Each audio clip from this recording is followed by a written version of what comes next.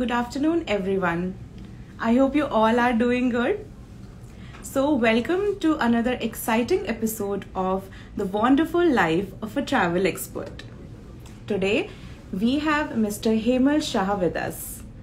So, his interesting journey began in 2005 when he joined Frankfinn as a student, and today he is working in Frankfinn as a travel and tourism trainer. How exciting is that? So, let me just quickly add him to the show.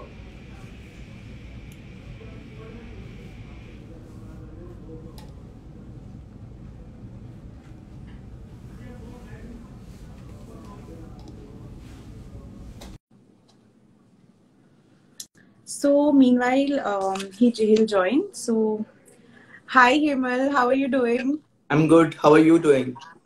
I am doing good. I was just about to tell our audience about your interesting journey. Thank you very much. So, right now, I just told them that you were a student at Frankfinn and now you are a trainer at Frankfinn and passing on your legacy to the you know aspiring students. Absolutely right. Yes, I am. So, uh, now let them hear your journey from you only, okay? Sure, I'll do that. Yeah. So, are you excited? Absolutely. It's my first ever interview. Great. So, you know, let me just begin with my first question. And uh, all right, let's begin. Sure. So, yes, we can. uh, um, I have like we have we know that you have immense amount of experience in all the industries, travel, airlines, hospitality. So, but uh, you know, travel is your main field, right? Yes. So, yes. how did it all begin? Uh, well, it all began when I joined Frankfinn as a student, at the Frankfinn, Frankfinn Institute as a student, uh, somewhere in the year 2005. Uh, even I had joined Frankfinn to be a cabin crew. And uh, Right. yes, I did try a lot of, uh, you know, a lot of interviews for cabin crew. But for certain, certain reasons, I could not, uh, you know, it did not work for me. But I knew it was not the end of a career for me or an end of path. I had to alternate uh, career options hospitality and travel, of course. So Right. that's where it began. Yeah. So I tried, kept trying uh, cabin crew, hospitality, and travel wherever I got a chance. I kick-started my career with that. Yeah. Yes. Right. Great. So I'm so glad that your journey began from Frankfinn. Yes, for me also because I've been really thankful to Frankfinn. Otherwise, I would not have started with hospitality and maybe I've not been able to continue my career into travel as well. You, okay? You understand? If I had to go into hospitality, I would otherwise had to do a three-year hospitality degree course and then get Right. into, you know, and that was not possible for me. So luckily, we had that time Frankfinn and it was booming uh, as Frankfinn as an institute. It was very famous. Today also it's very famous, of course. So it gave me a good opportunity, not only you know into course, but also uh, it groomed me as a as a person. You know, uh, we we had these personality development sessions, which uh, really you know, improved me as a person. I really used to fear speaking in public, so our trainers used to you know really work hard on us so that we could you know speak in front of 10 people or you know in front of public so that really helps Right. us especially in the interviews as well so that's how i Mhm. think uh, frankfinn has been uh, you know paramount for me in my career That's really beautiful. Okay, so um, you had completed your graduation when you joined Frankfinn, right? no uh, well when i joined frankfinn i was uh, around 16 16 and a half just passed out of 12th and i started with frankfinn just like many of our other students are Right, So right. I joined as an undergrad, and uh, at that time we only had one course with Frankfinn, the diploma course. Okay, so I when I passed out, I was still an undergraduate, and when I started working, I was still an undergraduate. So my first job, uh, you know, was with Renaissance. I was working as an undergrad. Okay, but uh, I knew graduation was mandatory at some point of time, otherwise I would get stuck in my career. So I simultaneously continued my education. So that's how I complete my uh, education, graduation, and currently I'm pursuing my post graduation uh, through correspondence. So how did you manage all of this? Like you were studying in Frankfinn, you were doing your graduation, and you were also preparing for the job. So how did it all happen? How did you manage all of this? Uh, see, we, it's very simple. When you want to achieve something in life, you will do everything possible. Okay. So if I would have given up on my education that time, maybe I would not be sitting in front of you right now. Because as a trainer or you know as a travel expert, today many uh, you know organizations are looking for graduates. Minimum qualification becomes graduate. I would not be in, in a place where I am currently otherwise. So I had to manage somehow, and we all have to manage, and it happens just you need to have that intent in you to do it. Right right right. That's really you know you are a very hardworking person and you could juggle between so many things together. So it's really inspiring yes, for us and for all the students. Right. Thank you um, so i believe um, you were placed uh, through frankfinn right? You got your placement by frankfinn. Yeah yes. So not only uh, yes my first job was with frankfinn of course but it is not that they only provided me with uh, you know uh, opportunities with hospitality and travel management.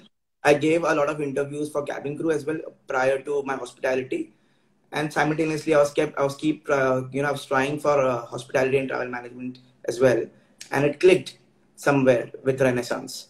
So Renaissance was my first ever job into into this industry it's it's really great that you got uh, you know placed in such a big big company and that too with the first job. So how was your role at your first job? Uh, my role was into front office. So i was okay. handling the front of the house at renaissance or renaissance. As a as a brand it's a part of the marriott group of hotels. Okay? So yes. So my role is to look after the front of the house the check-in you know customer service if the passenger customer guest needs something they would come to you. So you are the the face of the of the hotel for uh, for you know for your guest. So if uh, you have to be smiling all the time although, although your knees might be hurting you've been standing all day but you always have to keep smiling and you know give your utmost service to your to your guests. Yeah but something i'd like to add over here when i started working Renaissance, I was the youngest employee at Renaissance, just something in the age of 17 and a half years, something. So I was the youngest employee that time. Okay, you must have got pampered a lot there also. you don't get pampered, trust me. Yeah, because it's a real world. you don't get pampered. They they they are preparing right. you for everything. If they pamper you like your parents, then you'll always be in the shell, right? So pampering right, is what i don't do to my students and i don't expect others to pamper me as well. So that that's what makes you the real person. Right. And you know this we feel when we go in the real world then we realize okay this strictness was really important. Mm, yes. So today also when i you know i take classes at frankfinn i don't allow students who have come to my class late for a reason Today, if I allow them, tomorrow they'll be late in their work as well. And at that time, it will pinch them a lot. So to, it's better it pinches them right now. Okay. If they want to think bad about me, it's okay, but it's for their own benefit. So that's how I learned, and that's how I want my students also to learn. Right. And because of trainers like you, like experts like you, you know, Frankfinn students always they are very successful in their careers. Thank you very much. So it's it's not just me, it's we as a team who you know works towards achieving that right? Right. So uh, you you have work you have experience uh, you know uh, in india as well as in abroad right? Yes i've worked in dubai. So how about that? Okay great. That's we yeah. Uh, franklin has a center over there you know? Yeah i know i'm sure you must be knowing that. Yeah. Yes of course. So yes uh, after i worked with renaissance mm-hmm. i had an opportunity to work with a five star hotel in dubai the name of the hotel was Jebel Ali Resort, uh, Golf Resort and Spa that time.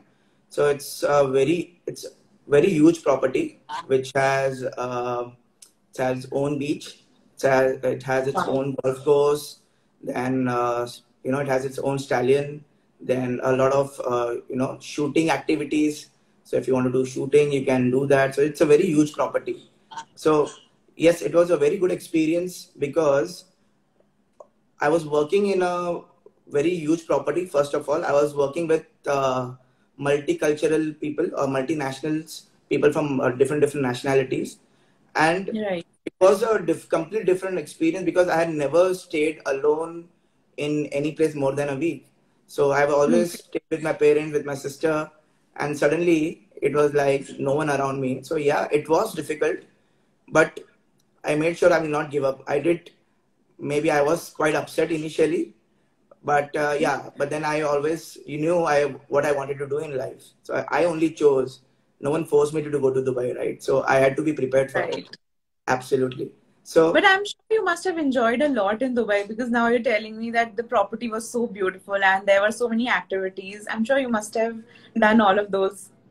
So as an employee, you get to enjoy everything at a property because if you don't know what you know what kind of activities are there and you're not able to enjoy, how will you tell your guests about them and how will you make them do those activities? Because at the end, if you tell them, you are going to bring business to the to the organization, right? So we had our own benefits, which we could use. We could use the restaurants in the hotel. We could use activities as an employee. So we had these opportunities. Plus, if you're staying in Dubai, the, the company, the organization provides you transportation to go to major city centers like the malls, the, you know, you get discounts on going to safaris and so on. So all these were added benefits. And I never used to spend a single money from my pocket that time. So I used to get a lot of tips. That's the most interesting and, you know, beautiful perk. Yeah, it is a beautiful perk because accommodation is taken care of. Then your transportation is care, care of. Food is taken Right. care of. Laundry is taken care of. So what are you spending on? You're just spending on yourself, right? And that spending, that amount that I was spending was coming from tips. So salary was completely saved, right? For that period. That's really, you know, it's very tempting to uh, listen about all those stories and we're like, okay, we should also do this. it you should at least once in your lifetime because when you work abroad you need to you will get to know a lot of other people right now i only know you might be known, only knowing people from india our culture how what are our uh, festivals and so on but my roommate Right. initially was an egyptian okay now this is really interesting so Egyptians, we understand are, are, are people who follow Islam, right? But there are many Egyptians who follow two religions, Christianity as well as Islam. So my roommate used to, uh, you know, used to follow both. So once he was following Ramzan, that was understood, and during Christmas he was making Christmas tree in our in my in our pad. So I was like, "What are you doing? Why are you making Christmas tree?" But it's my festival. I was like, "You are a Muslim, right?" Well, no, we follow both festivals because we many of the Egyptians we follow two religions at a time. So that is that was really interesting, and I made Yeah, it's actually very interesting and new for, Yeah. you know, for me to listen. I mean, this is something I've never heard of this. correct. So it is not known to many people. Yeah. Right. So we all, we always assume that people from the Arab countries are always following Islam. So it is not not the case always, right? So you, I had the chance to make friends with uh, people from different nationalities. So today also they are in touch with me. Maybe they, maybe Wow, they are live right now seeing me also. I don't know, but yeah, it's it's a memory of lifetime working in Dubai. Wow. That's really interesting. Yes. I'm a little envious of you right now. Like, you got such great opportunities, but then that was your hard work, Yes, it is hard work. Otherwise, they will not have hired first of all, right? Right. You don't just hire. Yes. Right. So, uh, this was all about, you know, your hospitality uh, time, right? And so, Yes. mm, then you had this immense amount of experience in travel as well. So, how did you switch? So I had my own reasons to come back to India. So when I came back from Dubai to India, um, I thought of continuing my journey with the hospitality industry, but then I somewhere, you know, I was not feeling too good that you know I joined Frankfinn to be somewhere in the aviation. Now I'm into hospitality. So I, my aim was always tra- travel or aviation. Okay, so Okay. I kept trying after I came back to India, took a break for some months. Ultimately, I, you know, a good opportunity, I got a good opportunity to work with uh, the reservations for Singapore Airlines.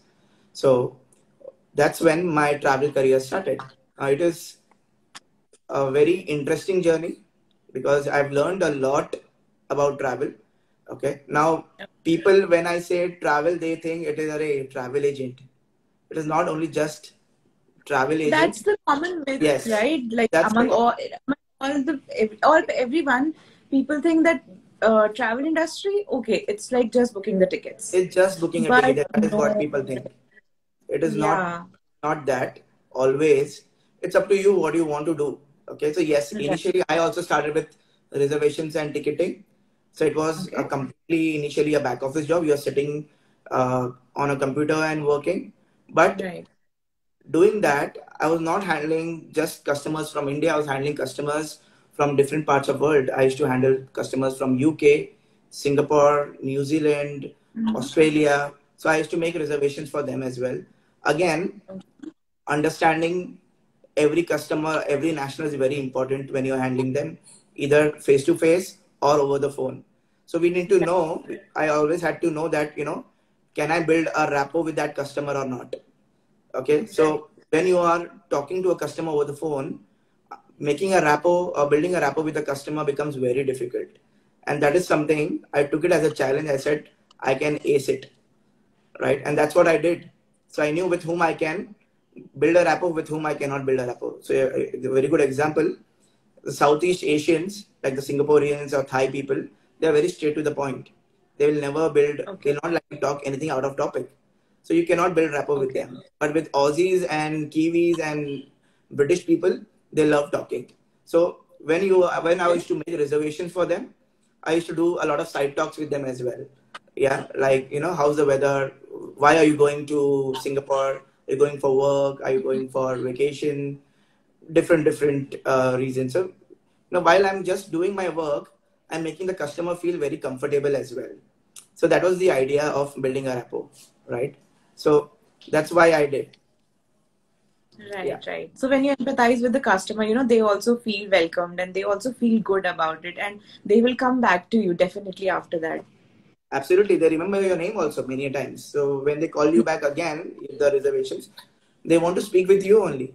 So that is something you know that really excites you about your job. You know that a specific customer wants to speak to Hemal only. That makes a really big difference. Right, right. So, um, so you have worked with like good and you know big travel brands, Yes, right? Like Right, Thomas Cook. Thomas Cook, American Express. Yeah. Mhm.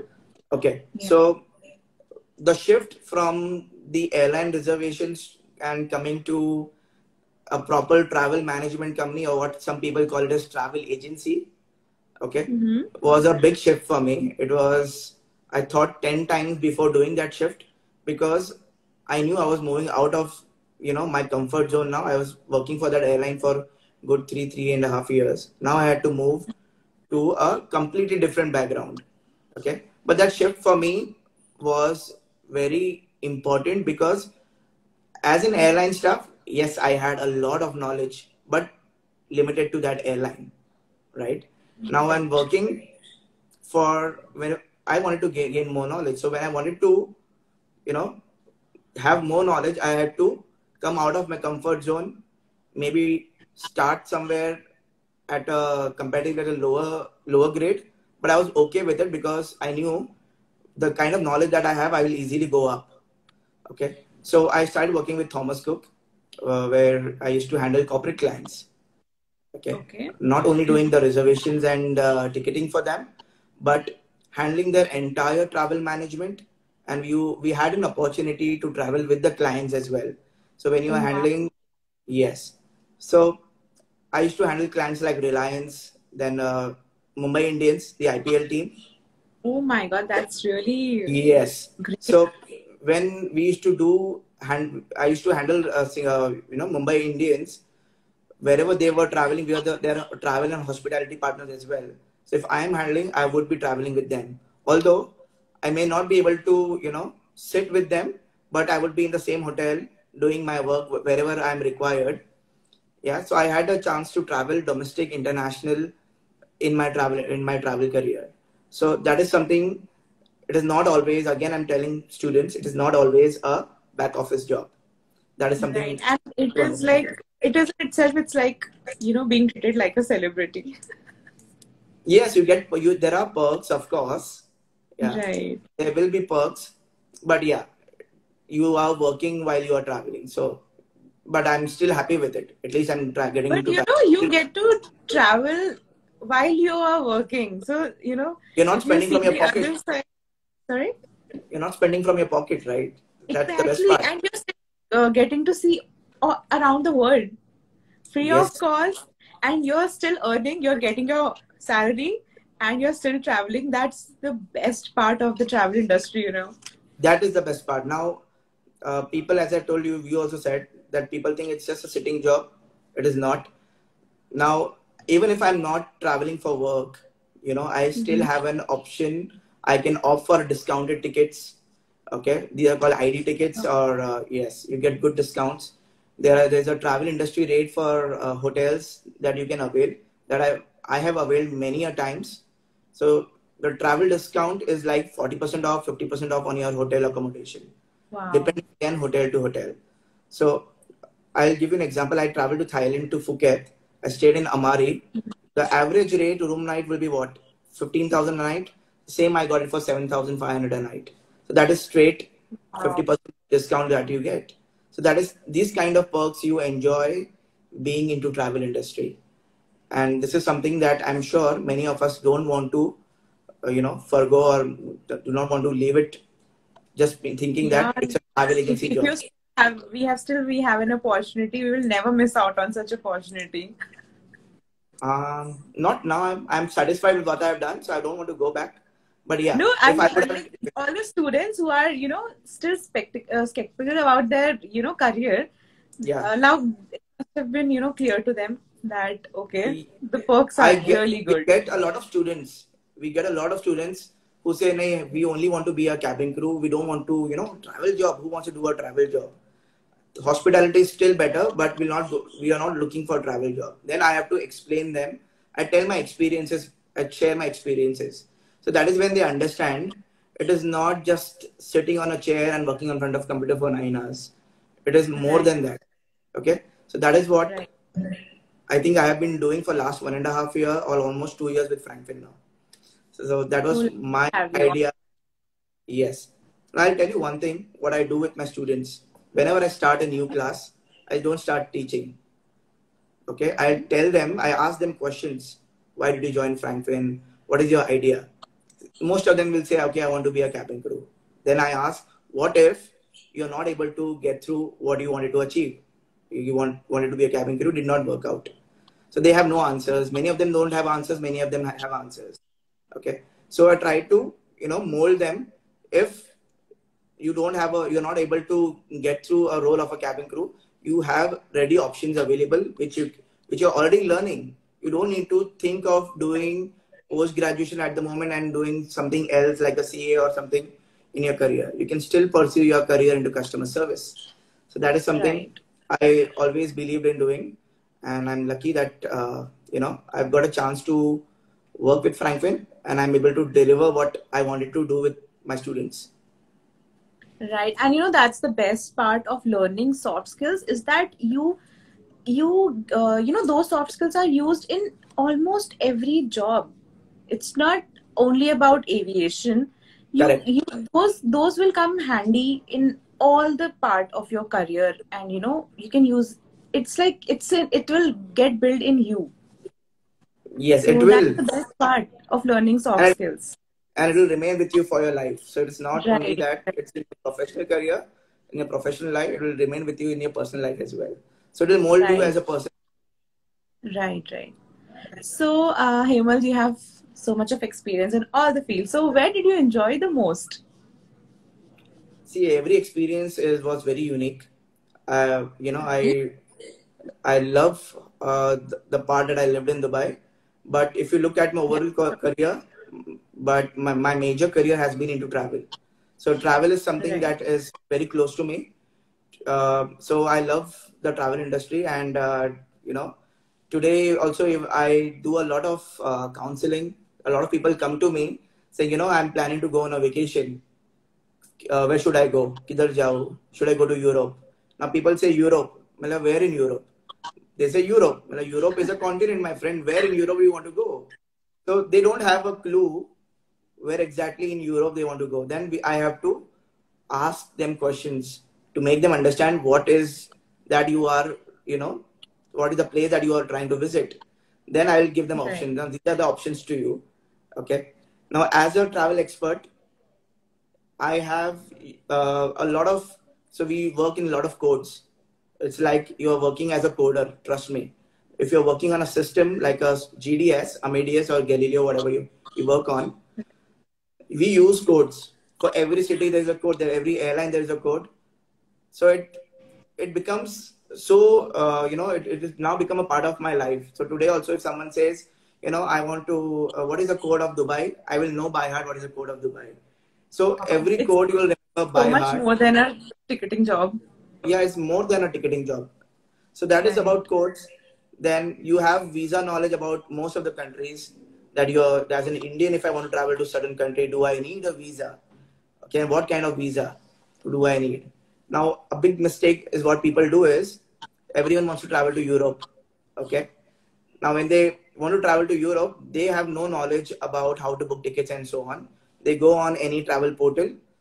Okay, they say, okay, there's a flight available via London going to Paris. Let's book it is very cheap. And they go ahead and book it. And they later realize that they need two visas to go to to travel on british airways. Okay one is for the france that is Okay. uh, the schengen visa. Plus since you're you're transiting the uk you will require a uk transit visa as well. So all this knowledge common man does not have it yeah. Right. you may so all this knowledge comes from a travel expert only. That will come from a travel professional. That's why hmm. industry will always require people will always require travel experts. And people who say the travel industry is over it is you know because of covid that no one's traveling and so on it happens in every industry right? It's not only affected the travel industry it's affected every industry. Now uh, job cuts happens in uh, it every year so it does not happen in the travel industry every year so that it happens one of cases like covid it is a very exception it's, a big exception that has happened so and it will people will travel now people are doing revenge travel if you look at now people were that one or two years. home. Yeah, people were were home for one and a half, two years. Now people want to travel for revenge. I will travel whatever happens. Now I have taken a vaccine. I will travel. So Right. travel is going to boom at every point of time. I'll give you a very good, a very good example how the travel is going to boom in India. India never had, um, you know, cruise liners coming to India. We never had many cruise liners in India. Now, our government for the last eight, nine years has been coming with a lot of seaports, which, which we don't know. Okay, so it's going to boom the cruise liner industry in India. So there are going to be a lot of vacancies coming in in the next few years. Wow. So the travel is only going to boom in industry. Yeah. So that is something that you should always consider because from a travel you can go to any other industry. Today I may be working for travel for a travel management company like Thomas Cook or American Express. You see my career, I have moved to a corporate sector as well from there. So there are opportunities that will come in your way. Do not lose hope, is what I would say to everyone. Right, right. So, uh, um, like after so many years of traveling, now you are a trainer at Frankfinn and you know passing on your legacy. So, how did this switch happen? Uh, somewhere I knew that I wanted to do training at some point of time because um, when I was uh, in my initial career with, you know, in the reservations and so on, I had done few refreshers for my, you know, new joiners and so on. So I knew, you know, I can talk good in front of people. I can, you know, I can present myself in very good way. And now since I had an experience of so many years plus of so many industries, I, I thought it was the right time for me to jump into training. Okay. So that's why I took that jump. So when I took that jump, people told me, it's too early to go into training. What are you doing in training? A lot of relatives told me, why training? You're doing very good in, uh, you know, into operations. But I wanted to, you know make myself uh, you know a very successful person into training at some point so if i'm able to do it at a very young age if i do training right now maybe in the next few years i will grow further into training right yeah i don't want to go back again doing the same thing i'll always want to grow so that should be a perception about your career always growing either a lateral growth or a vertical growth right so i always look Growth at that. always there yes Okay, so this was so much of an inspirational conversation, and I'm sure everyone is inspired by you. And now let's know something more about you and have some fun. Okay, Okay. so how about a game of Never Have I Ever? All right okay let's do it i know that game Uh, so you have coffee, right, with you? yes i do thank you Oh, that's great. Uh, so I'll ask you a Never Have I Ever question, and if you have done it, you'll have to take a sip of it. Okay? sure Okay, so ready for some fun? yes absolutely So prepared few questions for you so that we know more about Hemal Shah. Okay. okay okay Okay. So here Let's comes hear my first question. Yeah. Never have I ever been on a cruise ship. Cheers. I have been. So, um, So on a trip to Singapore. So when uh, I went on a trip to Singapore, so from Singapore we I went on a three day cruise. So before that, I had never been on a cruise. It was my first time ever. So for me, as a cruise, it was like okay, it will be a ship. All right, but Mhm. over here it was a complete different world when I entered a ship. So it was just not just a five star hotel in inside a ship, but there was a, a water park. There was a small golf course, a mini golf course. Then uh, it had multiple swimming pools.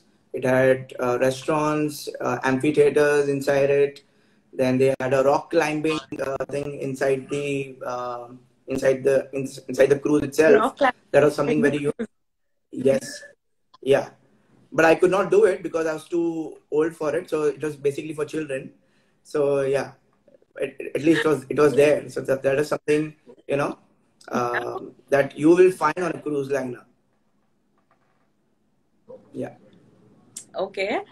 Here comes my next question. Never have I ever seen a famous person on the street. I'm sure you have seen multiple on, you know, traveling while traveling, but you know, it's a different experience when you see them on street. So in Mumbai, you see uh, if you go to town, you get to see you know film stars every now and then. So yeah, when I was working in a hotel, I should see when I was working to travel. That time, of course, I had to uh, experience a lot of uh, you know actors, cricketers, and so on. Plus, I have one of my friends. She uh, herself is an actress, so she's into Oh, wow. uh, yes. So she herself is an actress. So you know we get to see them every now and then. So it's it's not a big deal for us. But yeah, initially in a Right. career, it was yeah. So I was a kind of a Salman Khan fan. So I used to go Okay. to you know uh, Galaxy apartment initially. Yeah. So we all have done that. right. If we are living in Mumbai, then definitely everyone is like stopping by Shah Rukh Khan's house and you know, then Galaxy.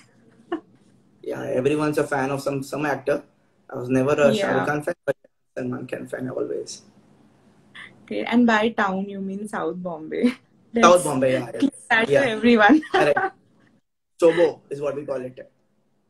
Yeah. Right. So did you take a sip of this for your coffee for this question? I did. I did. Oh, I'm sure these all questions, you know, you'll you'll finish the cup very soon. Uh, hopefully you have. That means you have a lot of questions to ask. Okay, so next question. Never have I ever lied about my age. No, never. Never felt Never. the need to. Never had a. For some reason, people always thought that I was uh, bigger than uh, you know, uh, older than my my age. For some reason, I had to correct them. I'm not so old. Just because I have some gray hair does not mean I'm old. So that was something. Yeah. So I never lied. I corrected about my age to people. Okay, so okay, no sip for this then. Yeah. No sip for this. Okay, next. Never have I ever received an anonymous gift. Uh, I would like to take a sip, but not a gift, but a letter. And That's Yeah. mysterious. okay. yeah, I didn't have the Never have I letter. ever and been. Okay. sorry. Yeah, yeah. Tell. No problem. So we are, you know, very interested to listen to the story if you are ready to tell. So that letter never came to me directly. It went to my mother. So I was playing, I Oh, was in my society, and the letter was delivered by some girl to my mother. And then that is how I got it. And then I assumed who sent that letter. Are going to tease you for this. Maybe that girl may be listening right now. Hopefully she's married. Oh. okay, this is really interesting. But yeah, next, let's move to the next question. Never have I ever been screamed at by a customer at the job. Okay. Uh, not because of my mistake. So I would not say, Okay. yes, customers do sc- scream at you, but not because of uh, my own mistakes. So I, would- I would never make a blunder, first of all. I would make sure I was ultra cautious about, you know, handling a customer. Okay, because I know if I was a customer and if someone makes a blunder, you know, it's going to, I would, how would I react? So I don't want it, the customer to react for my mistakes in that way.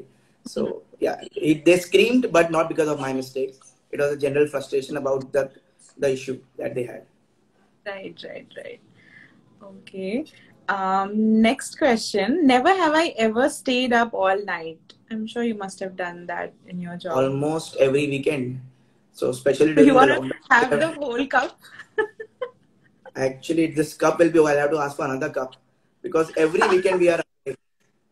Right? So right from Saturday night onwards uh, to Sunday early mornings, especially during the COVID period, we did a lot of binge watching. Yeah, right from uh, watching series like Money Heist, God knows what all. So we have done. I think we have finished every other, uh, you know, every other series on Netflix in the last one and a half year. Now we have nothing to see. Yeah, Okay. and plus I'm sure there are many coming. Yeah, hopefully there are many, many uh, upcoming seasons of it. So I'm waiting Yeah. for them. Correct. Yeah. So yes, I have stayed awake uh, for many, for a lot of period, a lot of nights And maybe. Coffee helps. Coffee, yes, it helps. Yeah. Absolutely. Right. So here comes my next question. Never have I ever watched a movie alone. Yes. Okay. In a theater, So, right? in a theater next to, uh, you know, uh, an old couple, sitting next to an old couple. Okay. it is something that I like to share. Uh, so I had a friend ditched and uh, never came for the movie. So I had two tickets and I ended up going alone to the theater. I sold one of the ticket to someone, and um, so I saw the movie alone. And it was a bad idea to see the movie alone because the couple next sitting next to me, the old auntie was crying during the movie, and I had to give my handkerchief to her while she was crying. So that's again hospitality, maybe. Did you also shed one or two tears for that movie? Uh, well, I am a kind of an emotional person, but uh, not in movies. Not, no, I will not cry looking at a movie. okay, so you know that's not re- happening in the real world. Yeah, luckily I knew that time. But many of us did cry, you know, because of that movie. That's what Shah Rukh Khan is famous for, right? He can make you cry. That's the kind of Okay. romance we used to see in the 90s. Right, Right. right.